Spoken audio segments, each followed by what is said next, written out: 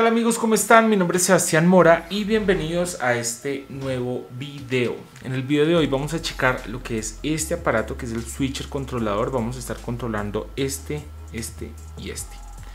Para más videos como estos por favor suscríbanse en este canal y chequen todas mis redes sociales y suscríbanse para más videos en este canal. Listo, vamos a entrar en materia y es algo realmente muy sencillo y muy chévere. Tienen que conectar su cable TRS, en este caso que va aquí. Pónganlo que donde dice aquí D y A. ¿Listo? Y este otro lo colocan pues aquí donde dice X1, expresión 1. ¿Listo? Importante que los dos los coloquen ahí.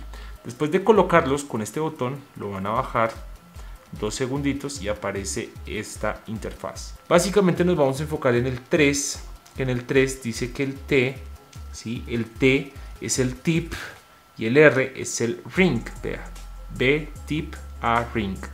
O sea, en el B, que es este, este es el B, ¿cierto? Voy a poner algo, entonces en este caso hay una revert y en el T hay un delay.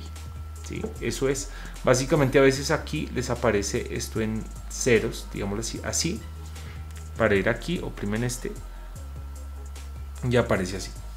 Entonces aquí esto no está haciendo absolutamente nada.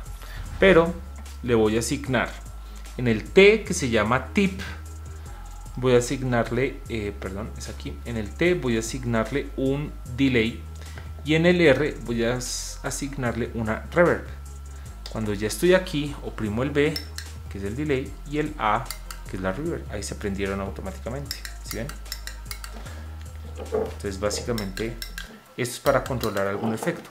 ¿Que quieren otro efecto? Claro que sí, no hay ningún problema. Yo quiero que en el B, que es este, que es el rig, yo quiero más bien un overdrive, que es este FX. Entonces, ok, listo.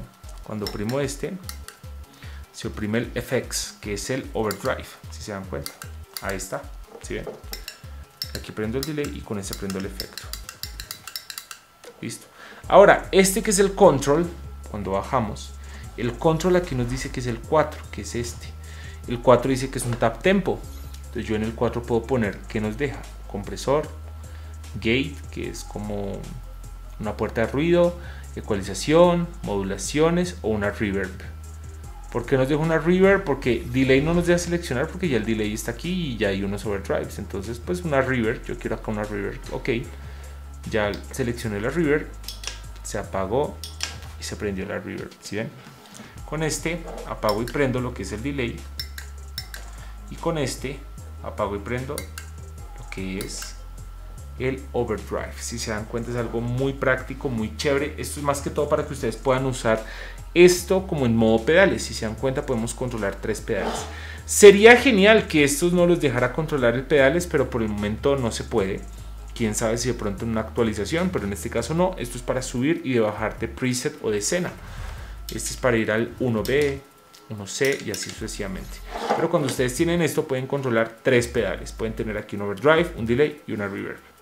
O pueden tener modulaciones o lo que quieran para aprender y apagar. Espero este video les haya servido. Si quieren más videos de la Nux, por favor, abajo en los comentarios déjenme todo y con gusto yo les explico. Bye.